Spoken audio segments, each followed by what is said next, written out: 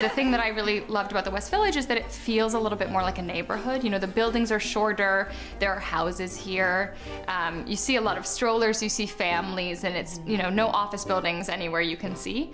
And so because of that, there are a lot of restrictions. So for example, our house, uh, in order to design the outside of the house, we actually had to look at a picture, I think from 1892, and then replicate that picture because over the century, it hadn't been kept up as well. And so when we were re renovating it, the Greenwich Village kind of historic Society said, you're allowed to renovate it, but only if you do these things. And of course, I was like, a picture from 1892, please. I would love to do that. That's my dream inspiration. So it was a big project, but you know, when you're doing something like that, and my husband's in real estate, and he's so talented at, at these kind of projects, you want to take your time. You want it to be good. You have to, you know, we want to live here for, for a long time.